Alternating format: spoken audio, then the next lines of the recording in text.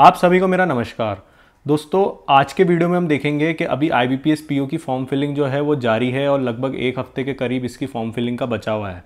तो इस एक हफ़्ते के पहले तक इसकी फॉर्म फिलिंग अप्रॉक्स कितनी हो चुकी है, ये हम इस वीडियो के अंदर देखेंगे। मैंने अभी जब टोटल रजिस्ट्रेशन नंबर चेक किया तो कितना आ रहा था।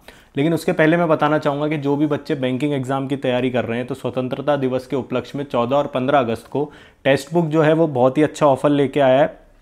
Pass pro yearly text book pass pro का टेक्स्ट बुक का नाम आप सबने सुना होगा। तो ये केवल थ्री हंड्रेड सेवन रुपीज़ का है और आप अगर हमारा coupon code B R C ten लगाएँगे तो आपको एडिशनल डिस्काउंट इसके अंदर मिलेगा। खास ही इनके अंदर कुछ एक्सक्लूसिव प्राइजेस भी हैं जो स्वतंत्रता दिवस के उपलक्ष्य में आपको मिल सकते हैं। लिंक मैं नीचे इसका डिस्क्रिप्शन बॉक्स और पिंड कमेंट में शेयर कर रहा हूँ। वहाँ से जाके इसकी पूरी डिटेल देख सकते हैं।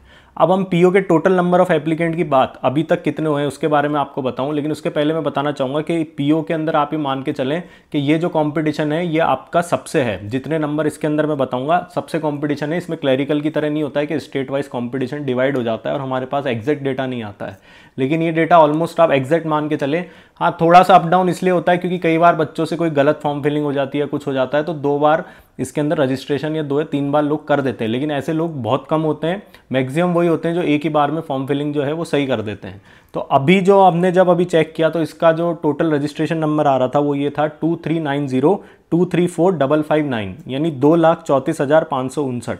Two lakh thirty four thousand five hundred fifty nine लोगों ने अभी तक I B P S P O के अंदर रजिस्टर कर दिया था। जिन लोगों ने रजिस्टर नहीं किया है और जो लोग भी एग्ज़ाम की प्रिपरेशन कर रहे हैं एग्ज़ाम देना चाहते हैं, या बाद में कभी अपने फ्यूचर के लिए भी वो प्रिपरेशन के तौर पर एग्ज़ाम देना चाहते हैं तो उन लोगों से मेरा कहना है कि वो बहुत जल्द फॉर्म फिलिंग करें।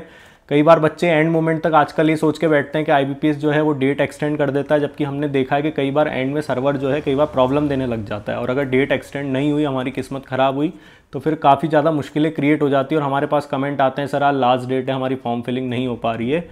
तो ये मैं छोटा सा वीडियो आपको मैसेज देने के लिए बनाना था। अगर इसके अलावा आपको और कोई डाउट है तो नीचे कमेंट बॉक्स में टाइप करें और हमारी चैनल को लाइक शेयर सब्सक्राइब करें। आप लोग का बहुत बहुत धन्यवाद।